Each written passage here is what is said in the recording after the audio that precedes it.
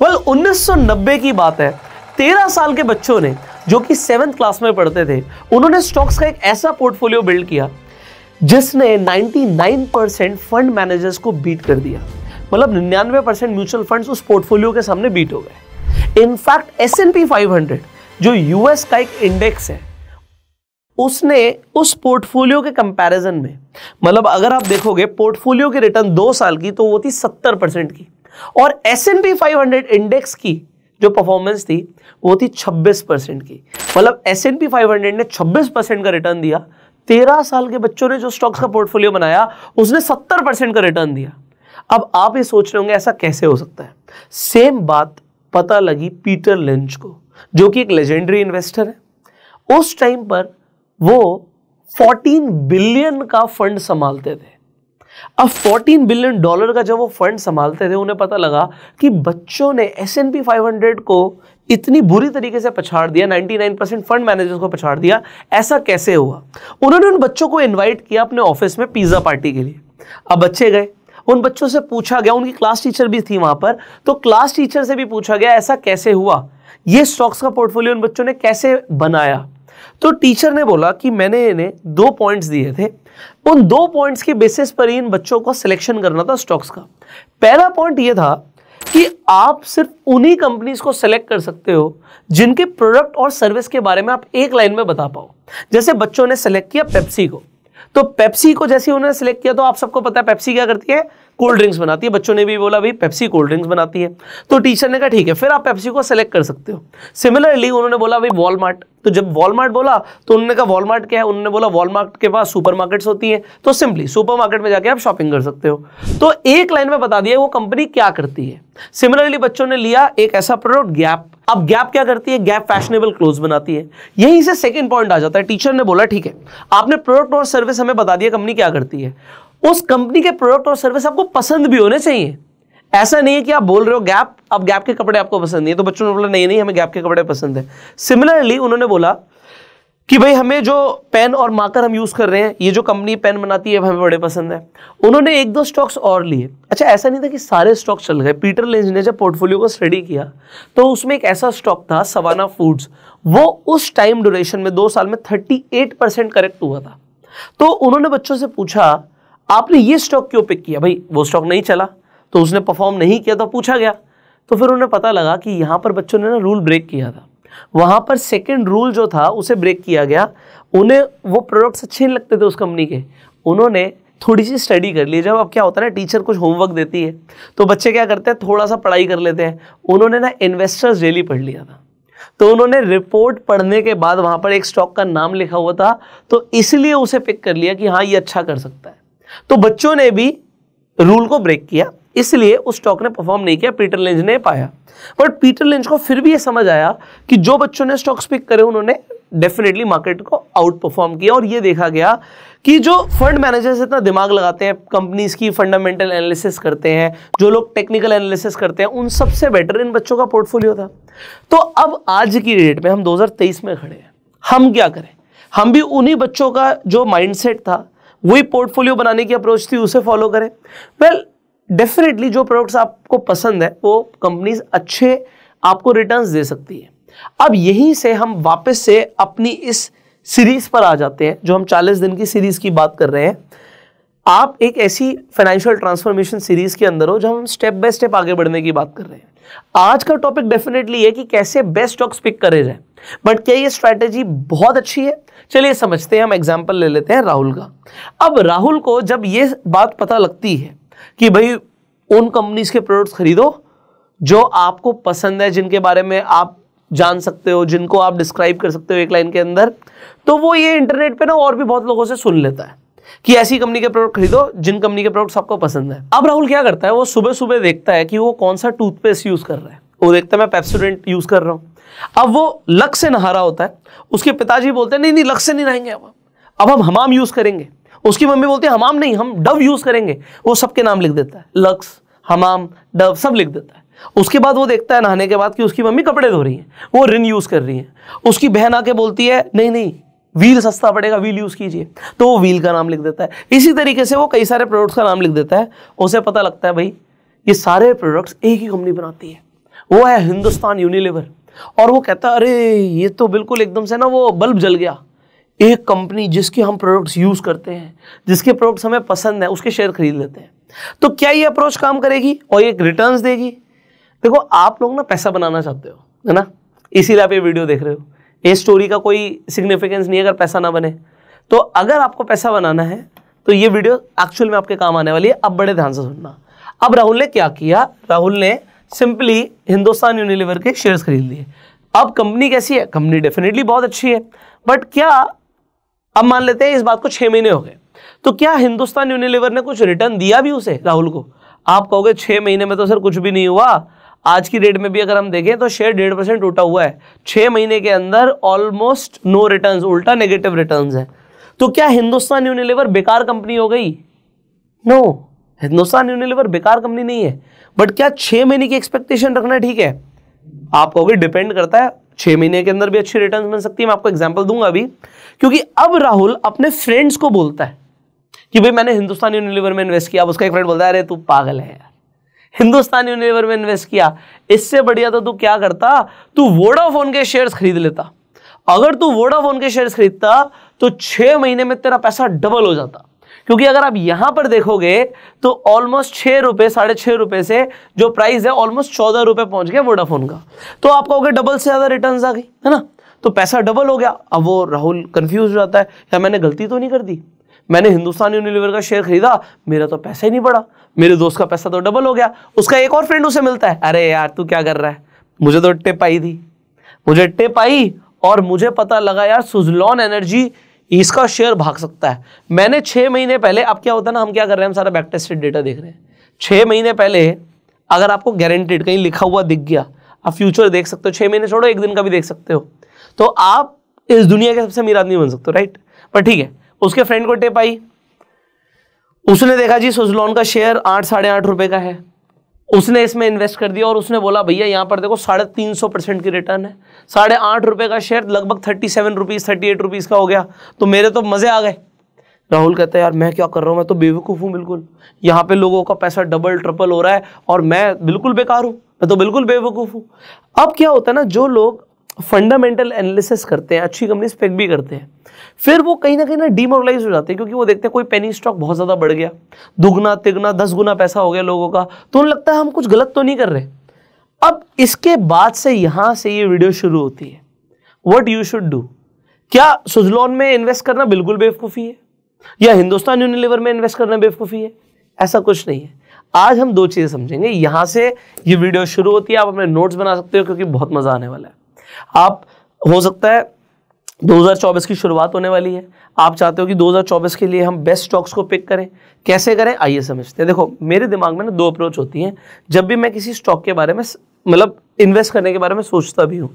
तो अब दो अप्रोच क्या है? नंबर वन अप्रोच होती है वैल्यूएशन अब ये सिर्फ़ स्टॉक की बात नहीं है। मैं अगर कोई रियल स्टेट में भी इन्वेस्टमेंट करता हूँ, मान लो कोई प्लॉट खरीद रहा हूँ, कोई लैंड खरीद रहा हूँ तो ये तो देखना ही पड़ेगा ना। वो महँगी मिल रही है, सस्ती मिल रही है। और महँगी और सस्ती के लिए बहुत सारे फैक्टर्स होते हैं, बहुत सारे पैरामीटर्स होते हैं। रियल स्टेट में थोड़ा सा अलग होता है है ना?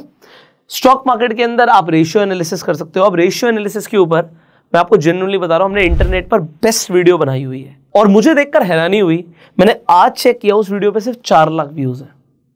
मैं आपको जेनुअनली बता रहा हूँ, उस वीडियो को देखना।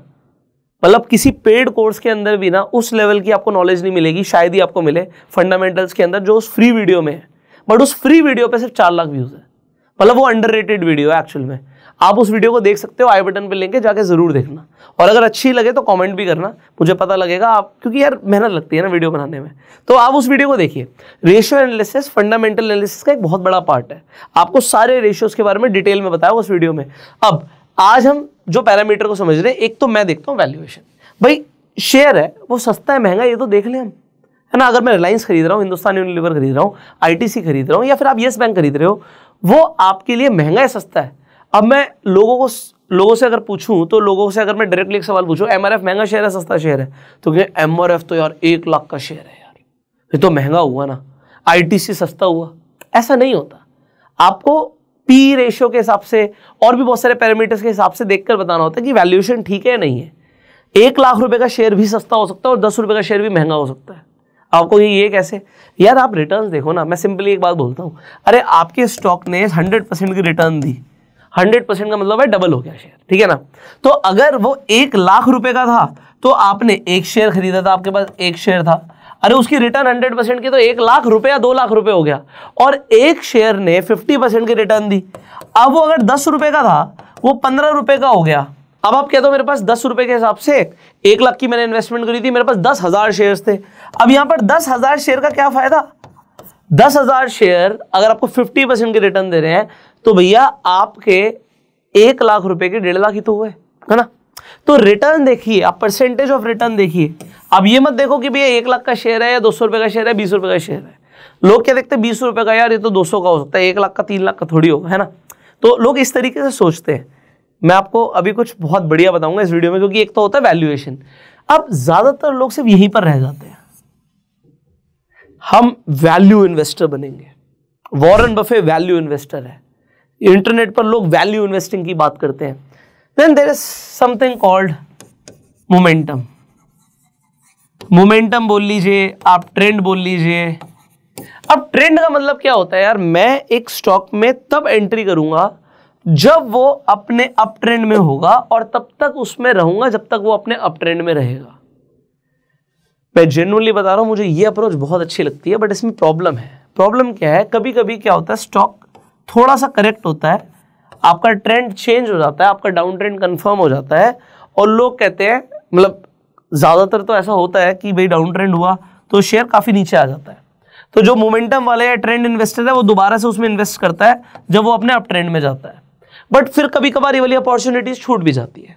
बट वैल्यू इन्वेस्टर क्या करता है, वो गिरने पे भी निकालता नहीं है। वो कहता नहीं, मैंने तो यार दस साल, पंद्रह साल, बीस साल के लिए इन्वेस्ट किया हुआ है, भूल जाओ बस। और ठीक है वो, क्योंकि लॉन्ग टर्म में ये बहुत छोटी सी बात है। क्योंकि इसके बाद शेयर इतना भी बढ़ सकता है तो ये वाली रैली मिस हो जाएगी इन छोटी छोटी जगहों पर निकलने से, है ना? पर आपका होराइजन क्या है? अब मैं आपको दिखाता हूँ मेरी बात को समझना। मान लेते हैं किसी को एक स्टॉक की रिकमेंडेशन आई थी टिप टिप पर इन्वेस्ट करना बेकार होता है। लोग कहते हैं ना टिप्स पर इन्वेस्ट मत करो। बिल्कुल सही बोलते हैं वो लोग। टिप्स पर इन्वेस्ट मत करो। बट अगर कोई टिप आई है तो एक बार उसे एनालाइज कर लेते हैं। अगर अगर आप एनालिसिस करते हो, एक तो होती है फंडामेंटल एनालिसिस अभी फंडामेंटल्स के लिए मैं आपको थोड़ी सी चीज़ें बताऊँगा जो आप खुद से आप एनालिसिस कर पाएँगे।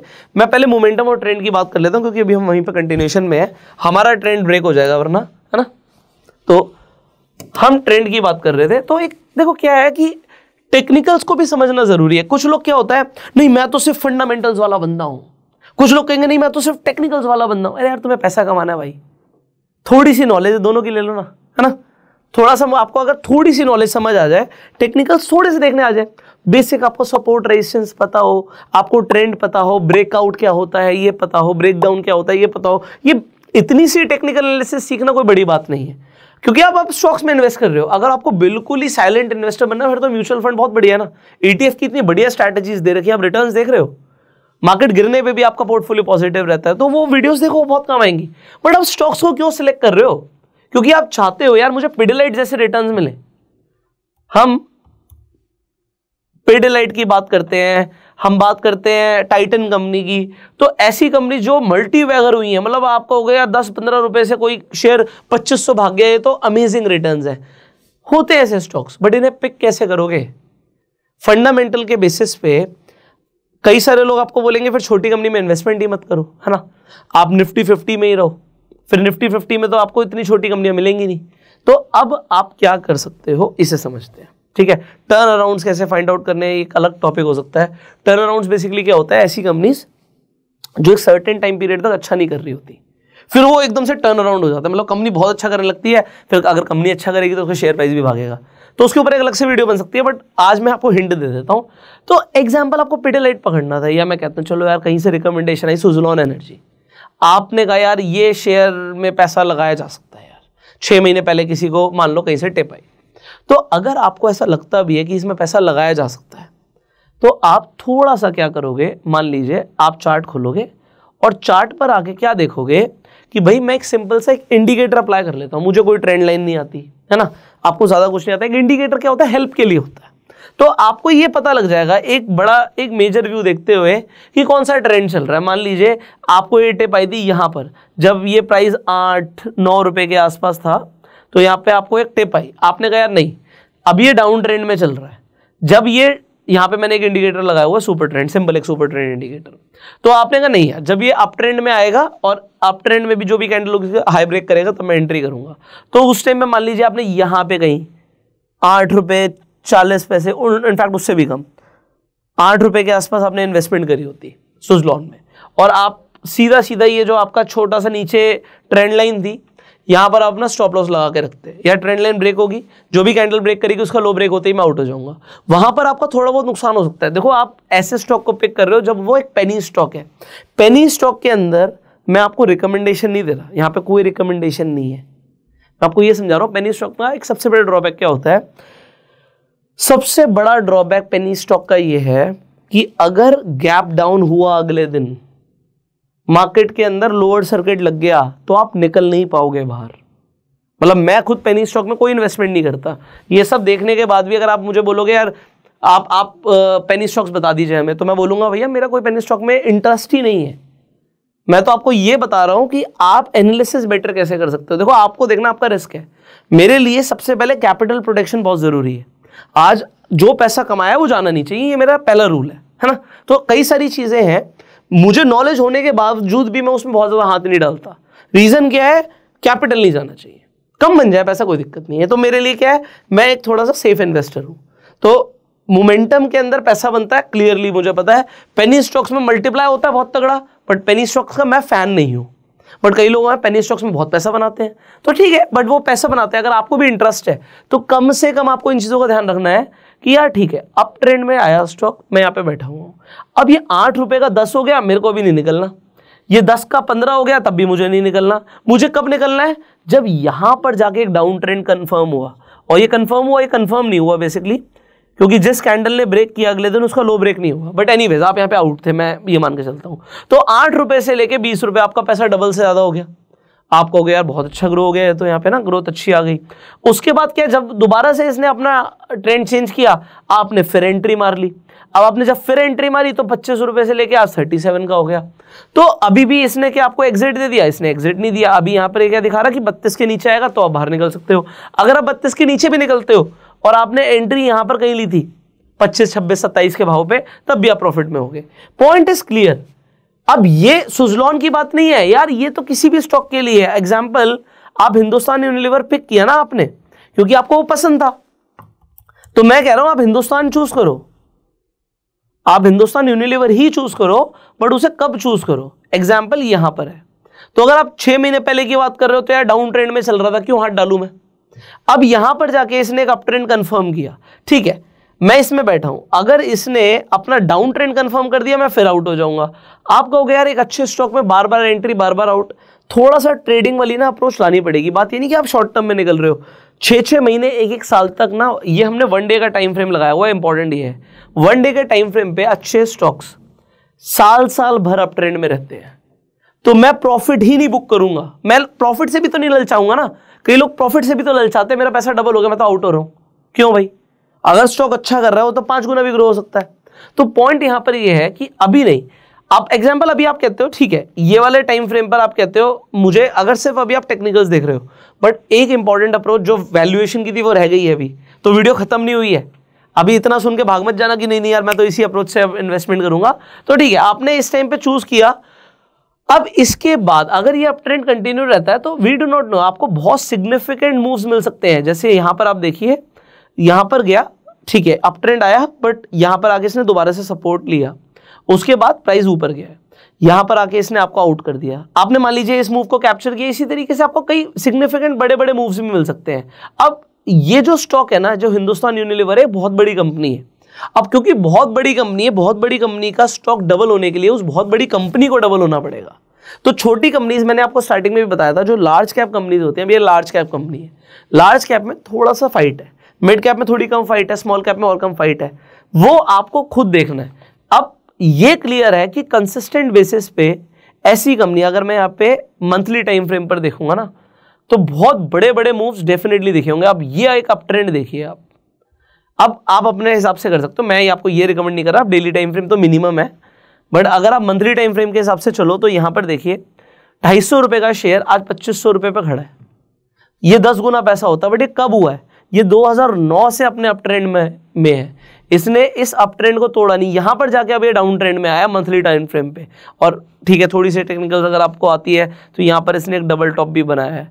अगर ये नेकलाइन ब्रेक करता है तो थोड़ा सा और भी गिर सकता है। क्योंकि ये, यहाँ पर अगर आप देखेंगे, पिछले छह महीने में इसकी कोई रिटर्न भी नहीं है ऑल दो एनीवेज तो थोड़े से टेक्निकल्स पता होने चाहिए। अब हम आ जाते हैं जो इंपॉर्टेंट चीज़ थी एंड दैट वॉज़ वैल्यूएशन को समझना। अब देखो, आप वैल्यूएशन मैं कहता हूँ, खुद से निकालना थोड़ा सा मुश्किल हो सकता है। कोई प्रमोशन नहीं है, कोई रिकमेंडेशन नहीं है, मैं आपको बता रहा हूँ, कोई भी आप स्क्रीनर ले लीजिए इंटरनेट पर। और यहाँ पर आपको स्कोर दिख जाएगा। एग्ज़ाम्पल आप एमआरएफ देखते हो।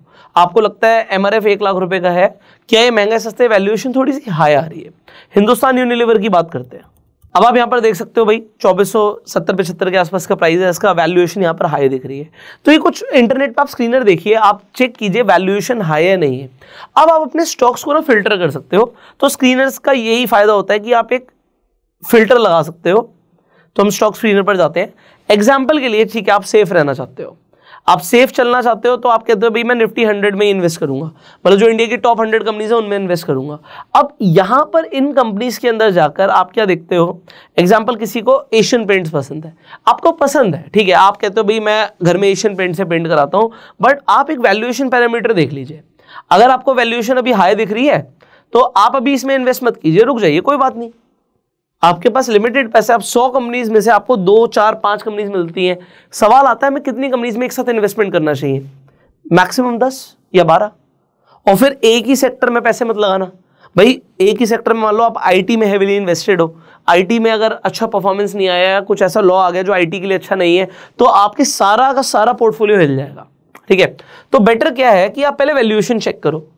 अब अप्रोच स्टेप्स दे देते हैं यहाँ पर कि क्या करना है। आप रेशियो एनालिसिस मैंने आपको वीडियो दिया है, वो आपको ज़रूर देखना है। स्टेप नंबर वन क्या है? हमें एक लिस्ट बनानी है। आप निफ्टी हंड्रेड से कंपनी निकालो या निफ्टी फाइव हंड्रेड से निकालो आपकी चॉइस है। आप क्या कंपनीज़ निकालोगे? वो कंपनीज़ स्टेप वन में उन कंपनीज़ की लिस्ट बनाओगे, जो फेयरली वैल्यूड है।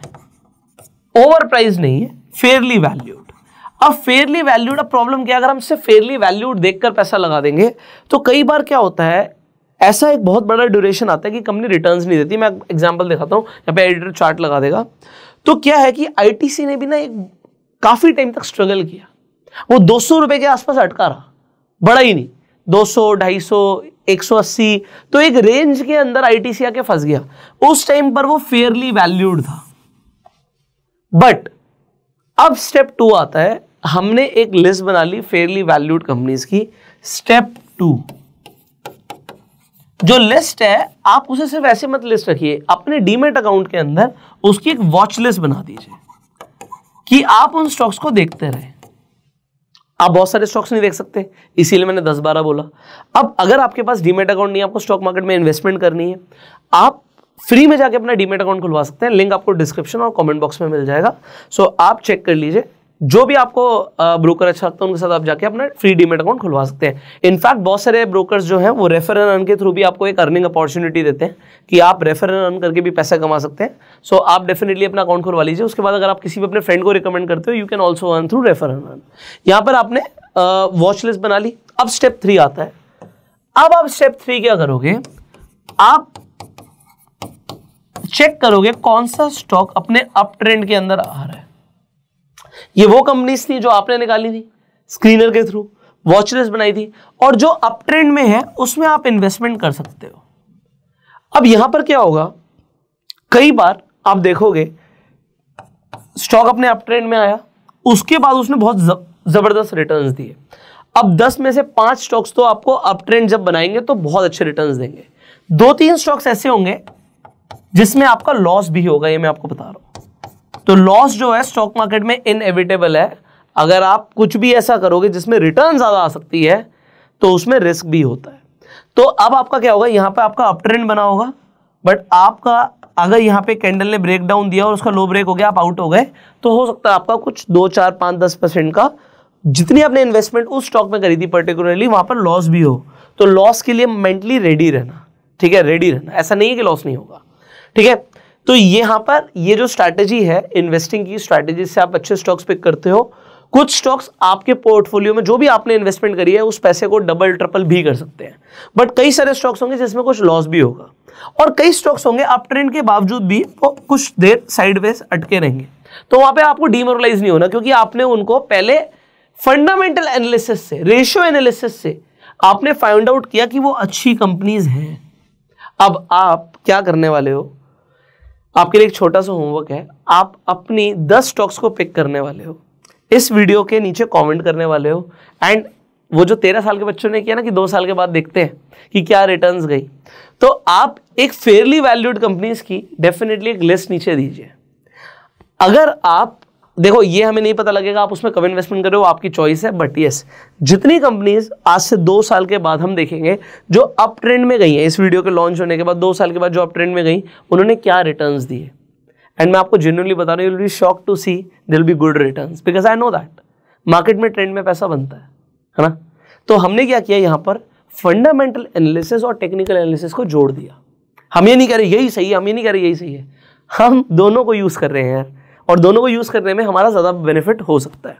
बाकी मैंने जैसे बताया कि मैं penny investing penny stocks investing का कोई फ़ैन नहीं हूँ बट हो सकता है आप में से कुछ लोग पसंद करते हो तो फिर भी मैंने आपको एक अप्रोच दे दी है।